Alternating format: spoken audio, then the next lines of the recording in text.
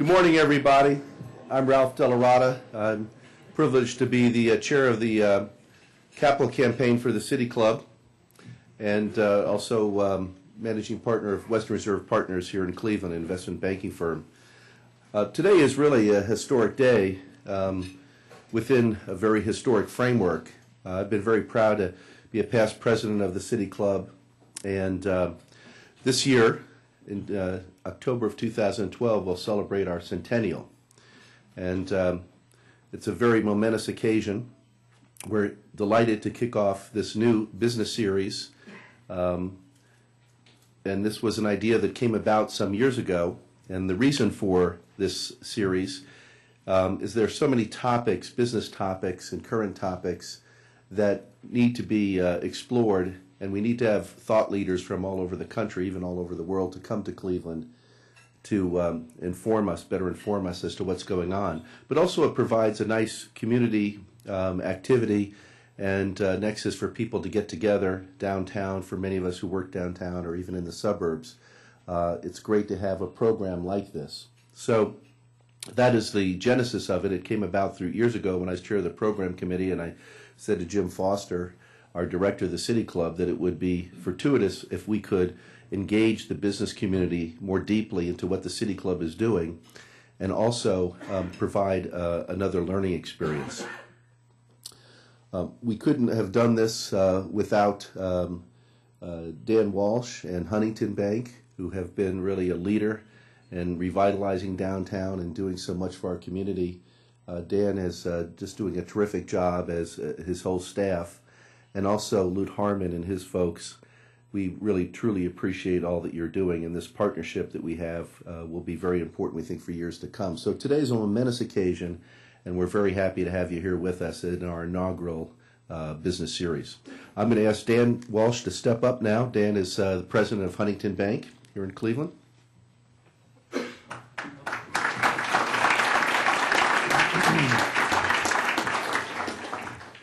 Thank you. Good morning. Um, I'm pleased to have the opportunity to welcome all of you to the, the Business Leaders Series here this morning. As Ralph mentioned, a lot of effort has gone into really designing a curriculum that we think will um, be fresh and new that will help propel us going forward. Um, we're, we're really proud to partner with Inside Business and the City Club to lead in this meaningful dialogue around how we as a region will be instrumental in leading the United States in the economic recovery. It's a historic moment. Um, but we designed this series differently. Um, as uh, Ralph mentioned, you know, that there's been in, in, a lot of work for the last couple of years, but really last summer we began working with the City Club and Inside Business closely to create a series of discussions with business leaders that builds on the growing momentum in our region. And we gave the series the appropriate flexibility to draw on the lessons that history has presented to us, but to really build the conversation, steer our region's future as it unfolds in the upcoming months and, and uh, upcoming years. Wayne Gretzky famously said that a great hockey player, or a good hockey player, plays where the puck is. A great hockey player skates to where the puck is going to be, and that's what the series is about. It's a can't miss series that is a vehicle to lead our, our region from good to great, and we will introduce timely topics worthy of broad civic dialogue, inspiring action in our region. In a few moments, Federal Reserve President and CEO Sandy Pianalto will kick off the series and set the stage for Cleveland Fed's regional economic outlook. The programs that follow today's dialogue will include how to lever Ohio's role as a swing state, the redefining of manufacturing, and how regional talent attraction and retention will increase our global competitiveness, amongst other timely topics. A few weeks ago, County Executive Fitzgerald unveiled his Western Reserve Plan in the second State of the County address.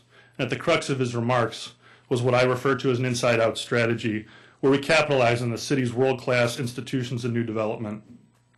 When we strengthen our city's core, the surrounding municipalities grow stronger. To think about things more broadly, if we can continue to connect the dots beyond Cleveland and its suburbs and into Youngstown, Akron, Canton, we solidify our, our competitive, competitiveness on a global scale. The pillars have been set. Downtown Cleveland is in the midst of perhaps the greatest renaissance in our city's history. Cranes decorate the skyline. Growing businesses are snatching up Class A office space. Economic drivers like the Medical Mart and the Convention Center and flats projects are underway. In a few months, the casino will open on Public Square, and the core of the largest city in our region is getting stronger, and this momentum will benefit everyone. Throughout Northeast Ohio, the harvesting of natural resources is spurring economic growth. The demands of the energy boom are already spurring growth at manufacturing companies throughout the region who produce steel, electronics, and raw materials needed to revitalize the uh, to capitalize on this opportunity.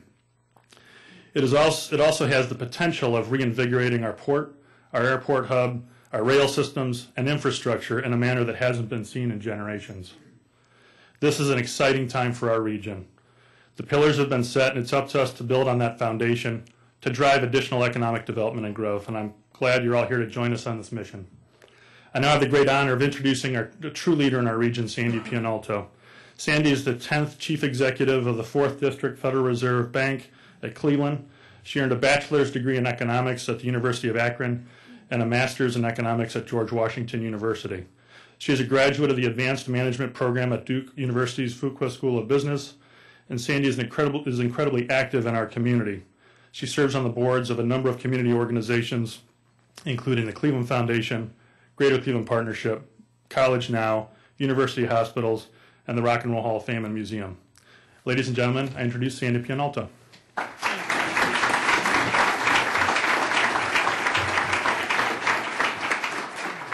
Thank you, Dan, for that uh, very nice introduction. And good morning, everyone. Uh, it's a pleasure to be here today. Uh, when um, actually Ralph called me to invite me to be the inaugural speaker uh, of this new Business Leaders series, I was uh, very eager to accept uh, the invitation. As Ralph mentioned, the City Club is celebrating its 100th anniversary in October, and it's it's celebrating and reaching that milestone for a reason, and that is that uh, this is one of the city's gems. And I congratulate the City Club on its upcoming 100th anniversary and your legacy of speakers, and um, th- that legacy is unprecedented in the United States. So it's a privilege for me to be here uh, on this platform in any capacity. And actually, I'm returning to this platform. I've been privileged to uh, be a speaker here uh, uh, twice uh, before. So it is a privilege for me to, to be here today and, and to be the inaugural speaker of what I think is going to be a, an exciting, exciting series and a timely one, as Dan pointed out. The underlying theme of this series uh, is about driving growth in the region and uh, in the global economy. And these are topics that I think about a lot in my role as president of the Federal Reserve Bank of Cleveland. Here, in Northeast Ohio, and I've been uh, here for many, many, many years. I've been at the Cleveland Fed for 28 years, so I'm pretty much a, a, local person, and, and so I've been thinking about our region for, for a long time. And it's clear that here in Northeast Ohio, we have to constantly upgrade our businesses and communities to energize and to sustain economic growth. So, with that in mind, this morning I'm going to cover three topics. I'm going to describe economic conditions in the region, and then I'm going to explain that the keys to our region's growth are education and innovation. And then finally, I'll close with some comments about the steps that the Federal Reserve is taking to support the nation's economic recovery. So, let me start with economic conditions in the region. Here in Northeast Ohio, we've actually weathered the Great Recession better than many other parts of the country. The unemployment rate here in Northeast Ohio stood at 7.4%, uh, which is the most recent reading, which was in December of 2011. And this is nearly a, a point lower than the national rate, which was 8.5% at that time. And this is a striking contrast to this region's recoveries from past recessions.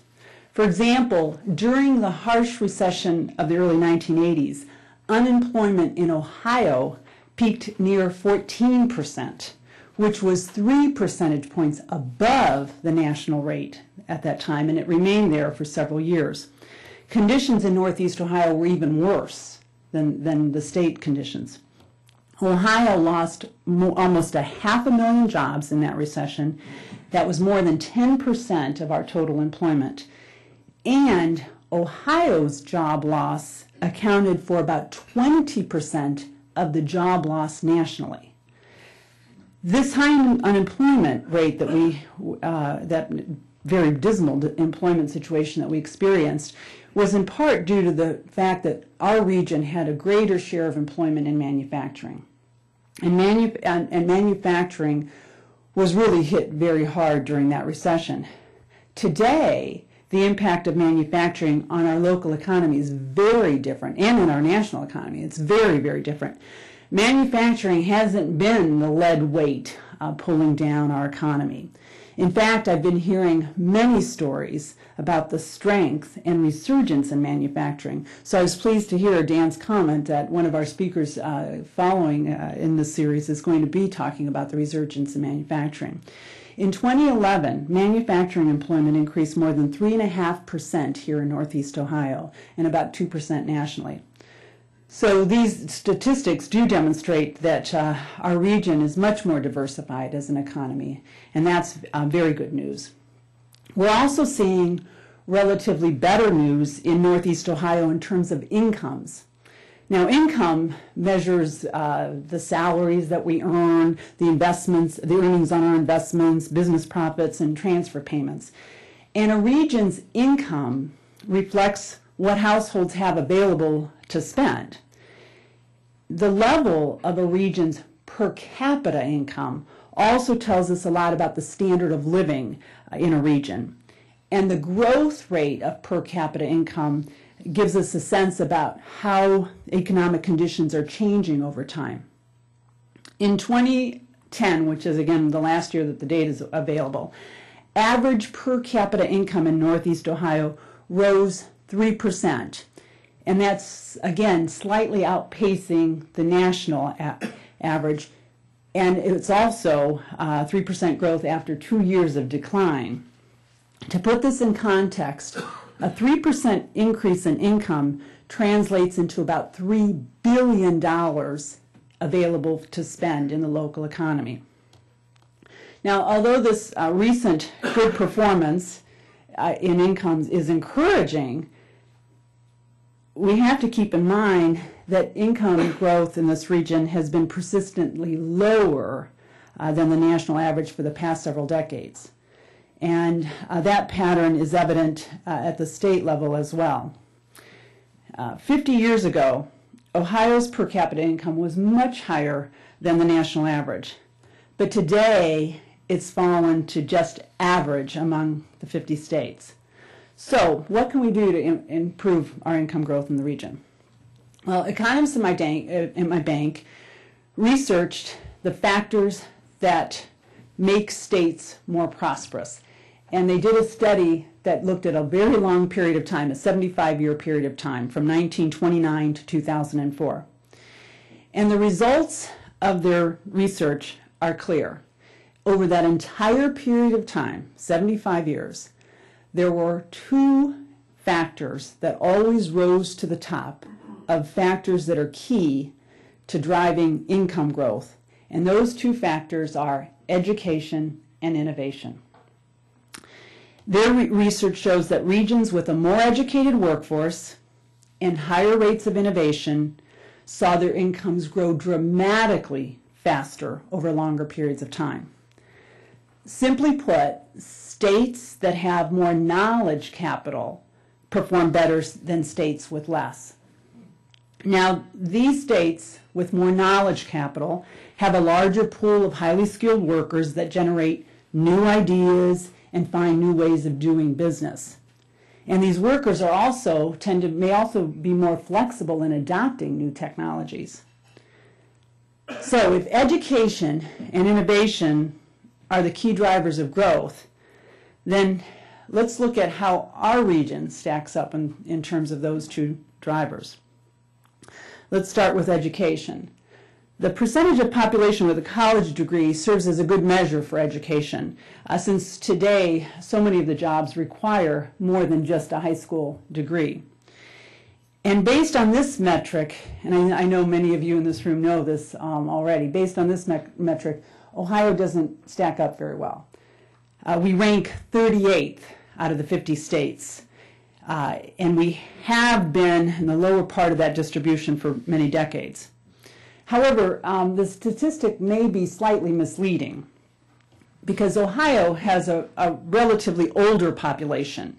And people who are 55 years and older generally are not are less likely to have a college degree in any part of the country. So our researchers dug a little deeper and they focused on a younger age group, uh, those uh, people between the ages of 25 and 34.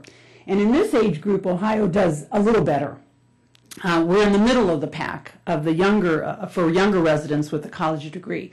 We rank 25, 25th out of the 50 states. And if we look even deeper and look at postgraduate education of 25 to 34 year olds, Ohio does even better, ranking 17th out of the 50 states. Now, this isn't ideal, but it's uh, clearly movement in the right direction. Now, while these statistics are for Ohio as a whole, we find that, that this, the trends here in Northeast Ohio are, are very consistent with, the, with what's happening in, at the entire state. Our overall, and, that, and the, the message is that our overall educational attainment levels lag the nation's considerably, but our younger residents seem to be doing better. In addition, we need to remember that the comparisons that I'm making are all within the United States, but we all know so well that our workers and our companies are increasingly competing at a global level. Uh, and uh, our performance in the United States relative to the rest of the world is, is not a great story either. Uh, back in 1995, the United States had the second highest college graduation rate in the world, but by 20, uh, 2008, we slipped to, to 13th. Um, so we went from the second highest graduation rate to 13th. In a recent comparison of the 34 developed countries on performance and test scores in, from high school students, the United States ranked 14th in reading, we ranked 17th in science and 25th in math out of the 40, 34 developed states. Now, it's not so much that the United States is falling back, but it's that other countries like Finland and South Korea that are improving their educational outcomes. So clearly, the message is that in order for us to remain competitive, uh, the U.S. labor force has to become even better educated and better skilled. So that's the story on education. But beyond education, as I mentioned, our research also shows that innovative regions experience higher growth. Innovation begins with new ideas, but for those ideas to have an economic impact, they have to be commercialized. And in our bank's research, the economists used U.S. patent data to measure innovation because patents are a critical step uh, in moving ideas, uh, and, and in this case, inventions, into profitable business ventures. Without moving ideas all the way into this commercialization process, there's no extra income that gets generated in our community. Historically, Ohio has been a relatively innovative state. But again, over time, that advantage has diminished. At one time, Ohio ranked sixth in the nation in the number of patents per capita. But today, again, Ohio has fallen to the middle of the pack. How did this happen? Well, Ohio has increased our patent activity, but we're just not keeping pace with the rest of the country. For example, the number of newly issued patents in Ohio in 2010 was just up 1% from 20, uh, the year 2000. In contrast, over that same period of time, the number of new patents issued nationally was up 27%. So, what can our region do to foster innovation? Unfortunately, the research on how to generate innovation as a region is not as well developed as educational attainment. We do know, first and foremost, that a region needs to be able to produce new ideas and research play, and research institutions play an important role in this process. And uh, we have two leaders of uh, two important research institutions here in, in Northeast Ohio, uh, Lester Lefton, who's the uh, president of Kent State University, a university that's doing good research, and um, Tom Zenty, who's the CEO of University Hospitals, another research important research institution in our region. So those institutions do play a critical role. But nonetheless, it, what's interesting is the innovation that results in patents are primarily generated by companies, private sector companies. In fact, in the Cleveland area between 2006 and 2010, almost 90% of the newly issued patents were connected with companies. Government initiatives can also play an important supporting role in fostering innovation. The state of Ohio has made significant investments to support research and commercialization through the Third Frontier program. And here in Northeast Ohio, Jumpstart is the regional partner for the Third Frontier's entrepreneurial investment program. And this organization has uh, a growing portfolio of new businesses in the Northeast Ohio that are developing new products and new ideas and generating incomes that are important to our region. These endeavors, along with other local initiatives such as bioenterprises and NorTech, have brought a, a renewed focus uh, supporting innovation in our region. And that focus is obviously uh, uh, benefiting economic growth throughout the region. So, as we pr- pursue these efforts uh, to improve the prosperity of the region, you know, I am encouraged that I see as a region we're coming together and we're are, are we're coalescing around an agenda that is focused on educational attainment and innovation. These drivers of growth are clearly uh, closely linked innovative environments typically have strong educational institutions uh, and, and research, research organizations. And they, innovative environments attract a large concentration of people with high human capital. Now, ultimately, if we're going to continue to make progress on education and innovation, it can't just be slogans and advertising and quick, uh, quick fixes you know, we're going to need to work together cohesively, and we're going to need to understand that we're involved in a marathon, uh, not a sprint. It took us a long time to get where we are today, so it's going to take us a long time and a, and, and a focused effort, a concentrated effort uh, to, to see the improvement and the results that we need.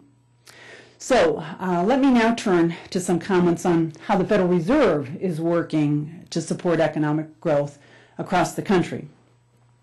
Monetary policy has an important role to play as our economy recovers from the deepest recession that we've had in 70 years. The Federal Reserve's monetary policy making group is called the Federal Open Market Committee, or the FOMC.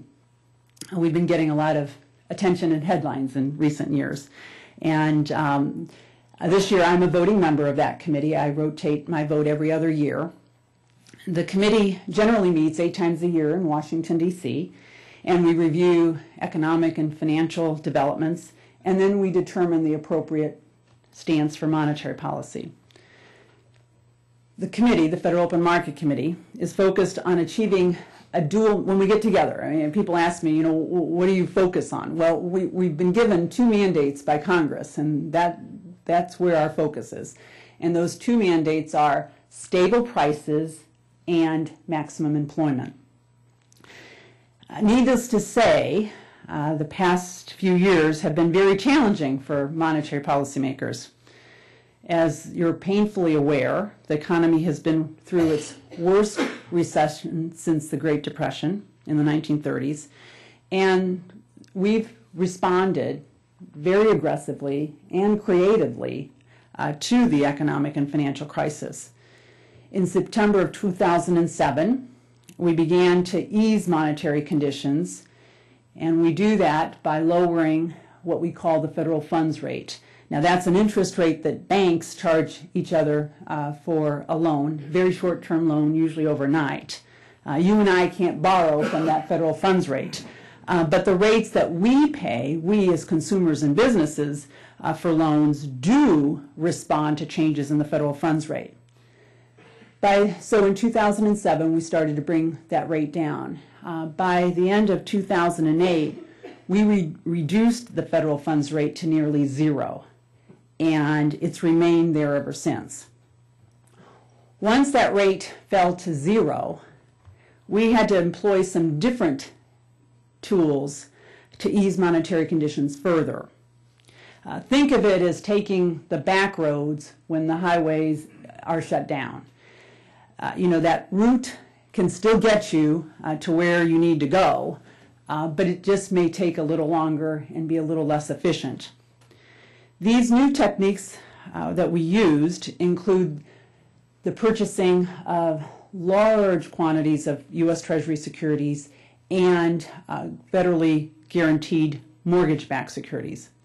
Our balance sheet grew from $900 billion prior to the, to the crisis to nearly $3 trillion today.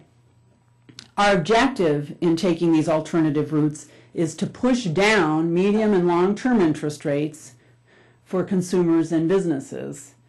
And we've been successful at doing that.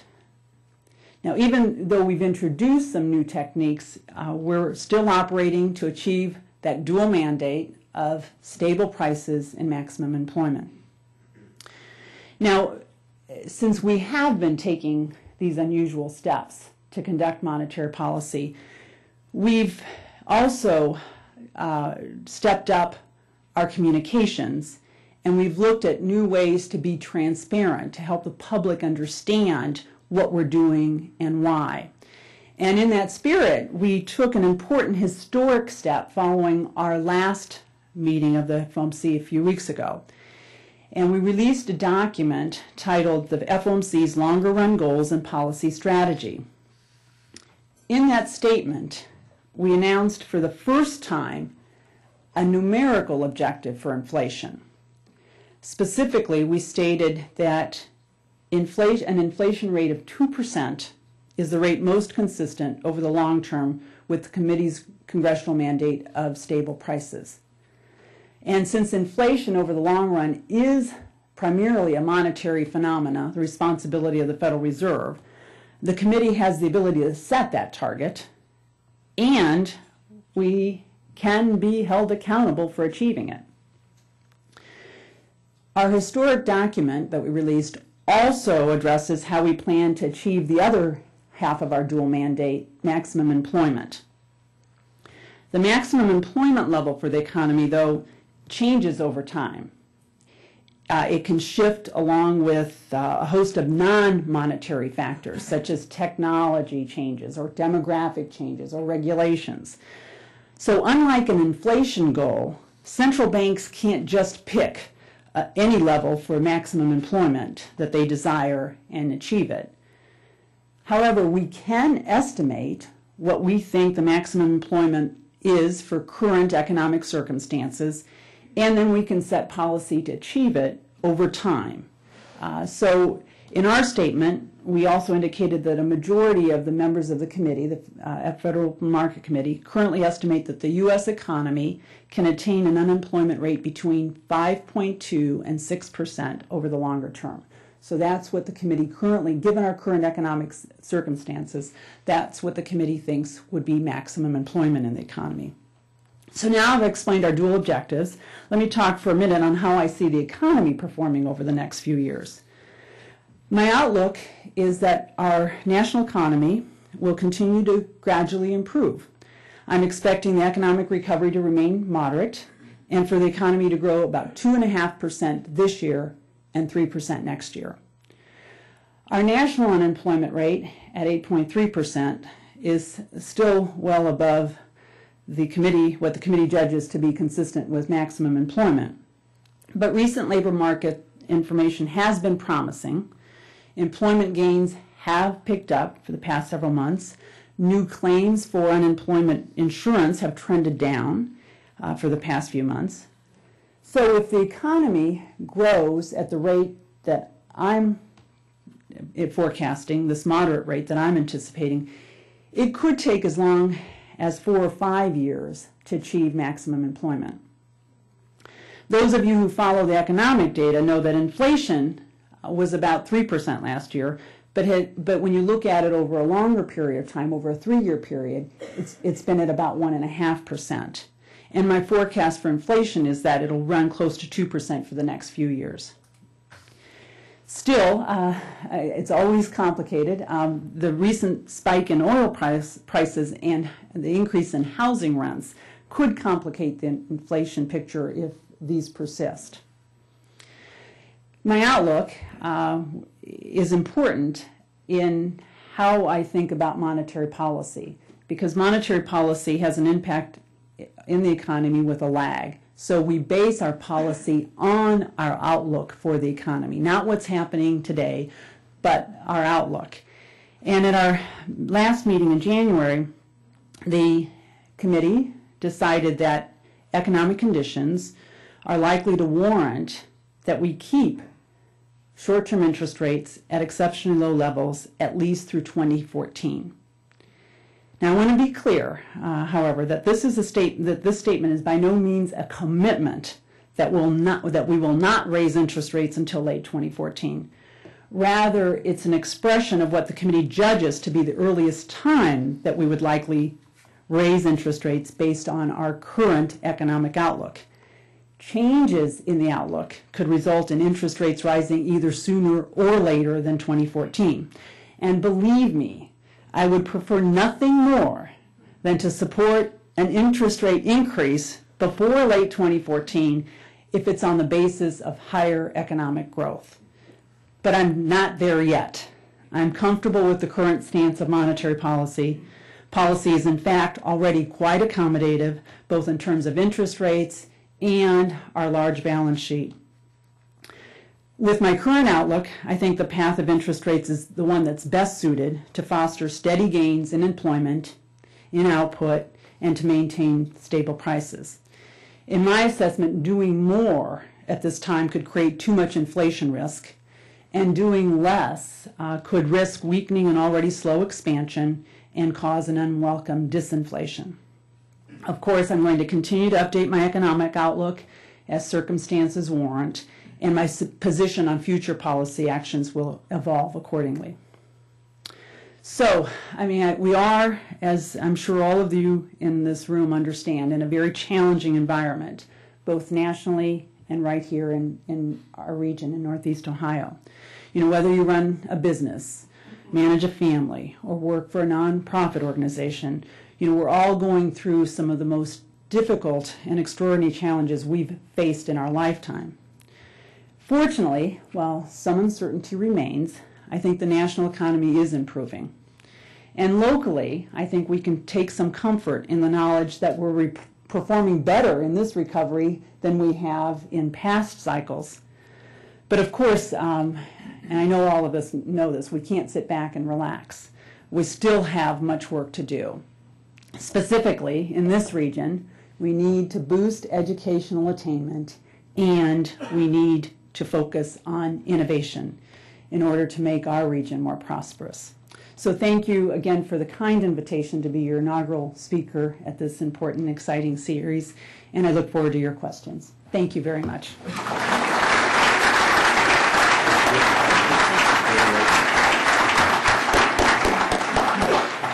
Thank you so much, Sandy, for those remarks. Today at the uh, City Club of Cleveland, we're listening to a Business Leaders Series program featuring Sandy Pianalto, President and CEO of the Federal Reserve Bank of Cleveland. We'll return to Sandy and our speaker in a moment uh, for the traditional City Club questions. Please uh, formulate your questions for our speaker now, and remember that questions should be brief and to the point. Holding the microphones today is City Club Program Director Carrie Miller and Special Initiatives Coordinator Phil Williams. We remind you that members and guests alike are welcome to attend City Club forums and hope everyone listening will join the City Club. We'd love to have you as members. This year, as I mentioned earlier, 2012, the City Club of Cleveland turns 100 years old, and there are several programs commemorating this centennial anniversary. Please visit the City Club 100th anniversary website at www.cityclub.org uh, forward slash 100 for more information. Upcoming Business Leaders Series events will include programs on Has it done Ohio any good to be a swing state? Regionalism and the importance of working together, redefining manufacturing, a global perspective of Northeast Ohio and attracting talent, and a regional assessment of our strengths and weaknesses. The Business Leader Series is a partnership between the City Club of Cleveland and Inside Business Magazine and is brought to you today by the generous support of Huntington Bank.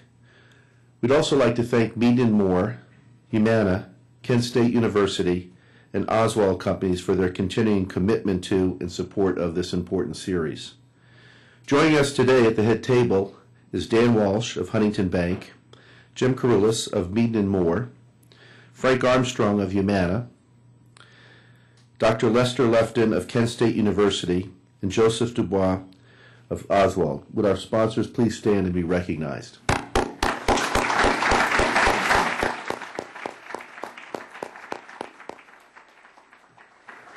Thank you. Without your support, this wouldn't be possible.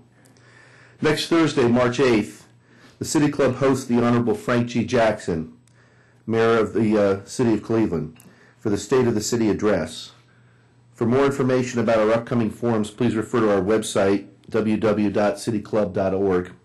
If you wish to make reservations for upcoming programs or order a CD or DVD of today's program, please call 1 888 223 6786 or 216 621 0082. We welcome guests today at tables hosted by Bumpidi and Guests, Charter One, the Federal Reserve Bank of Cleveland, and Medical Mutual. Thank you very much for your support. Now, uh, we'd like to return to our Sandy Pianalto for our traditional City Club questions and our answer period. We welcome questions from everyone, including guests. First question, please. Sandy, thank you for your insights about the good news and the not so good news about our region. Um, I'd like to turn, however, to talk a little bit about regulation of financial institutions. And whereas I'm not even going to pretend like I understand the regulations, I'd like to talk or um, more philosophically. So, several years ago, leaders of financial institutions lobbied aggressively to um, avoid any further regulations. And then, as we know, the financial institutions got into some trouble. They requested and they received a bailout. So now many of those institutions, I believe, have recovered. Um, and now they're moving back into a mode, I understand, of aggressively lobbying once again for no further regulation. So I'd like to know your thoughts in terms of what regulations might look like or should look like in the future in terms of more or less or different. Barbara, that's a surprising question coming from you. I can tell you're in a new role.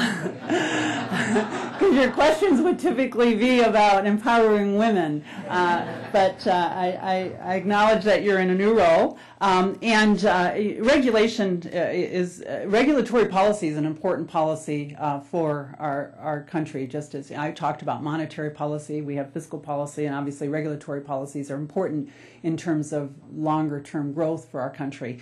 And uh, the policies that you were talking about, regulation, regulatory policies around financial institutions, um, have been evolving. As you mentioned, prior to the financial crisis, uh, the administration was ready to put out um, proposals for how to further deregulate financial institutions. And obviously, the financial crisis um, changed that, as you point out. And um, what we, uh, what Congress passed last year was Dodd-Frank reg- regulation. It's a, it's a sweeping financial reform focused primarily on large financial institutions. And what's and what's in, what's a, a change is that it's not just focused on large banking organizations, but it's also focused on large financial institutions that are systemically important. And there's been a committee set up that includes the chairman of the Fed, the chairman of the FDC, the, chair, the uh, chair, head of the OCC, the SEC, and some other um, regulatory agencies that come together. That's called the Financial Stability Committee, and they will designate those financial institutions that are considered systemically important. And then what Dodd Frank lays out is additional rules and higher standards for these large banking organizations and for these large systemically important financial institutions. The rules, and that legislation was passed last year, there are over 200 rules that need to be written to put that that uh, uh, those uh, those that legislation into uh, into play. And so what you're talking about is the fact that now the rule writing is underway, and that's where um, the the lobbyists of the financial institutions are trying to are trying to um, influence how the rules get written. And um, so there and there there are some important rules out right now for comment. And um, some of these uh, rules, the Volcker rule, for example, is out for comment now. Uh, and the numbers, the, and I think um, Ben made a Ben Bernanke in his testimony yesterday made a comment about you know the, the thousands of comments that are coming in on these rules because they are important. They will be they will influence how financial institutions evolve in this country. And so we are in that rule writing phase, and that's where the, the uh, financial institutions and their lobbyists are trying to influence how the, the regulators put together these rules. But um, so uh, it's evolving. Uh, it's taking a, a, long time to get these rules written because they are significant. This is sweeping uh, financial reform, and uh, it, it, will be some time before all of the rules get written. And many of the rules have um, some, uh, you know, implementation dates that are further out. So it will give financial institutions time to adjust to the new rules. Sandy. Good morning, and again, it's always a pleasure to hear you in a brilliant lecture. We're so proud of you. But uh, earlier this year, you mentioned the three kinds of policies uh, regulatory, fiscal, and monetary. And earlier this year, when Chairman Bernanke was here, he made quite a point that the Fed should worry about monetary policy and the government should stick to fiscal policy. And we're in a year of an election and possible, again, you know, changes at the governmental level. Uh, what is the dynamic between fiscal and monetary policy? How much should they interact in order to achieve some of the goals that you're seeing? And what influence can the Fed put on the monetary policy with our legislators? Thank you, Jenny, for that nice um, comment and, and for your question. Uh, monetary policy, as I said, fiscal, monetary, regulatory policies are all important policies. Uh, monetary, it's uh, monetary policy in this country and as it has been evolving throughout the world is independent. Uh, it's so important that monetary authorities be independent from fiscal authorities uh, because in situations and in countries where, in fact, uh, we're going to be celebrating our 100th anniversary in, uh, tw- uh, in 2013, the Federal Reserve is. And when the creators of the Federal Reserve um, were debating what kind of central bank to have, there was a, a, camp that wanted in Congress that wanted a totally government central bank that would that would actually report up through the Treasury. And in fact, the first um, set of board members that were created did have this, a seat for the Secretary of Treasury on the Federal Reserve Board. Um, and then there was a group that wanted a totally independent central bank uh, that would be run and owned and operated by the commercial banks in the system. What we got was a compromise. We, we have the Board of Governors in Washington that are appointed by the President and go through the Senate uh, confirmation process. And then you have the 12 reserve banks um, out throughout the country. Uh, the actually the uh, banks in our district are required to hold stock uh, in in our bank. Uh, Dan's Bank, Huntington, is a, a shareholder, and uh, they elect uh, they elect some of our directors, and, and the board of governors appoints three of our directors, and then I am appointed by that board of directors. So I am independent of the government process. Our employees are not government employees. Uh, we are a federally chartered corporation. And so those creators, 100, almost 100 years ago, one recognized that it was important for the Federal Reserve to be independent from fiscal policymakers. That wasn't the case of other central banks around the world. Uh, many central banks at that time reported up through the finance ministers, equivalent of the U.S. Treasury. And over time, central banks have become uh, have disengaged themselves from fiscal policymakers and have become more independent. And, and as a result, our outcomes have been better. Uh, we have a much improved inflation environment than we had in the 1970s. Um, so these independent central banks are, are very critical, uh, and um, it's important that we remain independent. Another factor that keeps us independent from fiscal policymakers is I mentioned we conduct monetary policy by um, uh, or uh, lowering interest rates. We um, we in order to uh, to influence interest rates and and grow or shrink our portfolio, we buy U.S. Treasury securities. We are not permitted to provide from buy those securities directly from the U.S. Treasury. We buy them from private dealers, so that there's that link. The private sector has to have confidence in our U.S. Treasury and the U.S. government, and buy those securities, and then we buy them from the private um, sector, private dealers. So it is important for us to be independent from fiscal policymakers in order for us to maintain um, stable prices and maximum employment. Having said that, your comment is, what can we do? Our fiscal policy needs to be fixed. Uh, we all we all recognize that uh, we're on an unsustainable path, and so fiscal policy does need uh, to be changed. It needs to be uh, set on a different course. We can't, just as we want Congress to stay out of um, telling us how to do our jobs, uh, we have to stay out of telling Congress how to do their jobs. But we can comment on how fiscal policy will impact economic growth and, and our, our, our, economic outlook. And so we have been consistent in telling Congress that, you know, we're on an unsustainable path. Uh, we do need to fix fiscal policy. Oh, you're going to hold it for me. Um, Sandy, thank you again for uh, speaking. I'm Lute Harmon Jr. I'm with Inside Business Magazine and Cleveland Magazine. And our business is extremely local. We work with a lot of local retailers. And they tell us that the single biggest catalyst that um, impacts spending with their business is the purchase or the sale of a home. People fixing up their home to sell, or people fixing up their home when they buy it. What is your impression of the local housing industry right now? Well, um, like many of the stories I've been talking about today, today there is a good news, bad news component. Uh, the good news is that uh, we haven't experienced the um, dramatic depreciation in housing prices that many other parts of the country have. But the bad news is that's because we didn't have the appreciation um, in housing prices.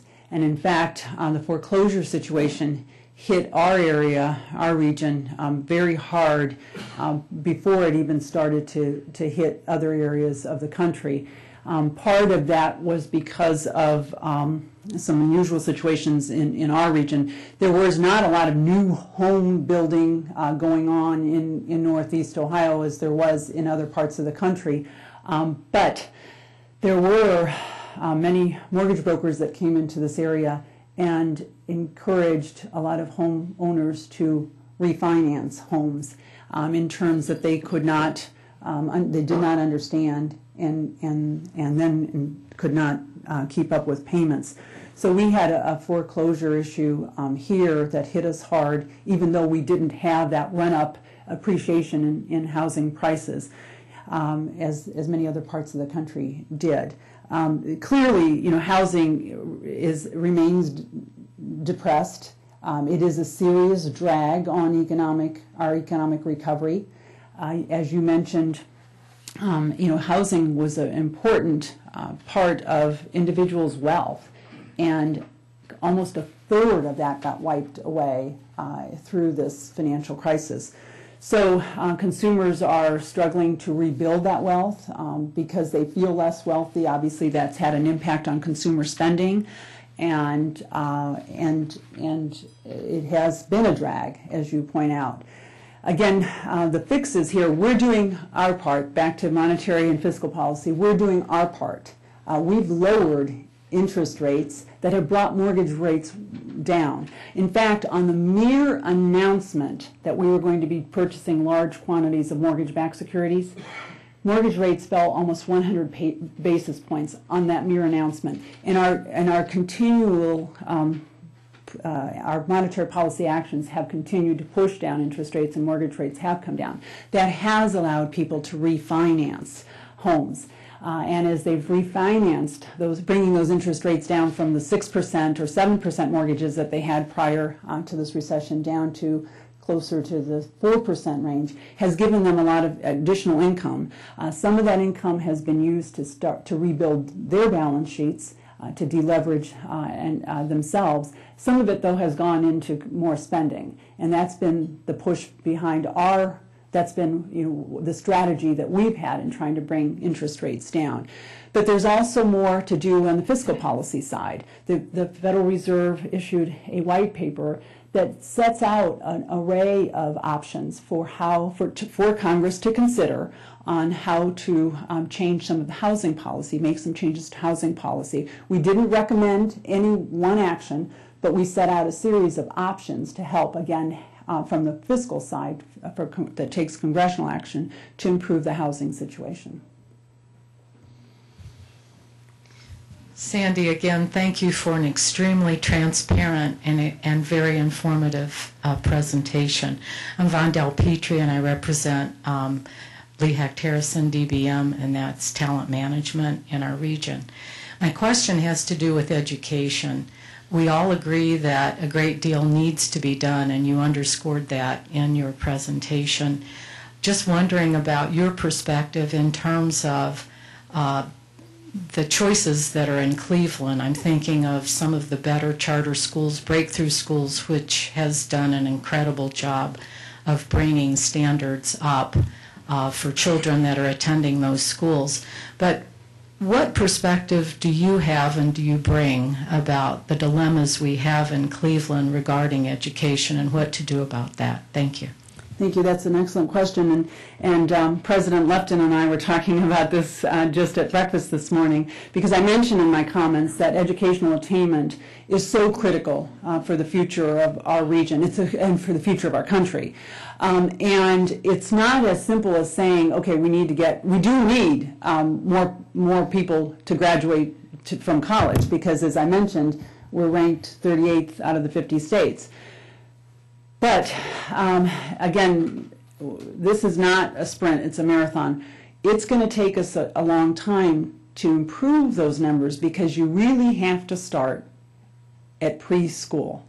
Um, the Fed, Federal Reserve, uh, one of my colleagues at the Minneapolis Fed did a study not too long ago, and actually um, a Nobel Prize winner in economics, Jim Heckman, also did a similar study that showed the um, the greatest return on investment, uh, public investment, is in early childhood development, early preschool, uh, because you, we've got to start um, helping children learn how to learn before they even get into school, learn how to socialize.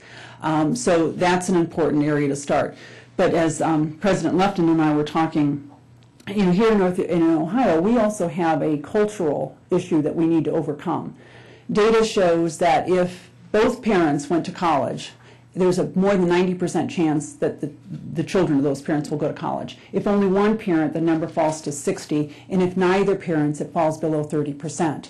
And as I said, here in Ohio, we don't have a high level of, of, of college attainment by the adults, the 55 year olds and older. And so, um, and so we've got to overcome this cultural uh, barrier.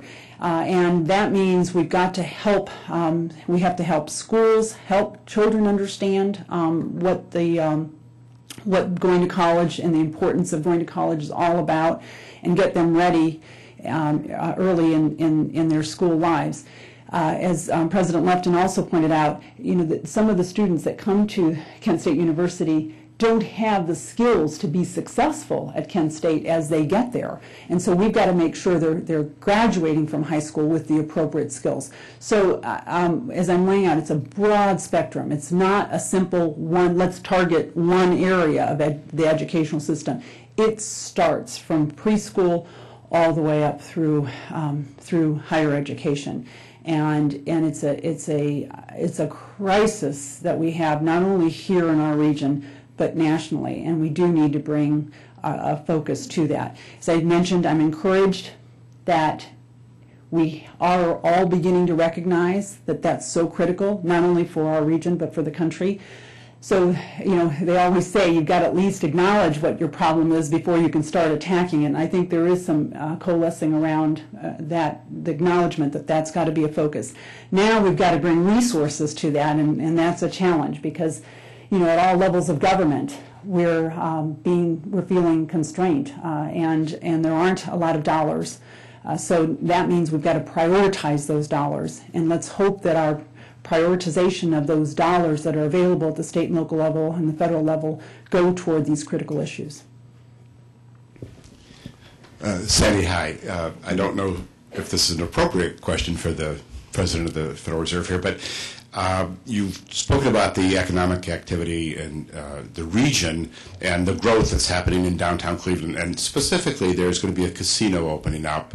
Is that going to help the economy of our region? Is that bringing new money into this area, or is it just moving money around from one part of the community to another part of the community? What are your thoughts on, on the impact of that effort? Well, Jim, um, y- you're, um, you're correct, and it's probably not a, a- it's not, it's not, a- it's not a specific project that the Federal Reserve has looked at. Um, But, you know, ha- you know, having said that, there, you know, we, we do see some vibrancy that's, that's um, occurring in, in downtown Cleveland, and, and that's helping create jobs, the construction jobs that are being created, and then the jobs that will be created within those facilities. That's all very important to any local economy. Creating jobs is important. But I think we, we need to, and, and, and I would put that um, under the category of some short-term fixes. But we really, if we don't change the fundamentals, if we don't um, create jobs for highly skilled individuals, um, you know, we, we look at the areas of the country where you've seen renaissance, but sustained renaissance, whether it's Silicon Valley or the Boston area or the Golden Triangle. Um, those are all areas where they were able, through the, the combination of technology and uh, or innovation and highly educated people. I mean, you know, when the, when those companies started to to um, to grow, it attracted highly skilled people. I know, um, you know, I, I'm on the board at University Hospitals, as was mentioned, and um, and it's exciting to watch the talent that wants to come here to Northeast Ohio um, in the in the biosciences and medical sciences and life sciences. And the talent wants to go where there is talent. You want to go, you know, even if it's if, if you're, um, and I, this is a very sore subject. If you're a um, sports figure, you want to go you want to go to a winning team right so talent wants to come to winning teams and we're starting to create those winning teams here in, in northeast ohio. And now we need to sustain that by making the investments um, again i know i sound like a broken record but making the investments in education and innovation.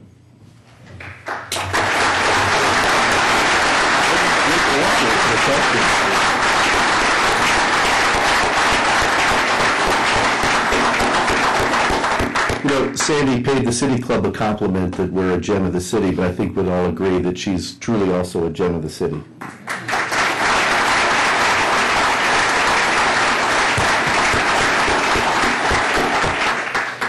Today at the City Club of Cleveland, we've been listening to a Business Leaders Series program featuring Sandy Pianalto, President and CEO of the Federal Reserve Bank of Cleveland. Thank you, Sandy. Thank you, ladies and gentlemen. And I guess we have a lot of work to do, she says, so we'll let everybody get back to work. This forum is now adjourned. That's terrific.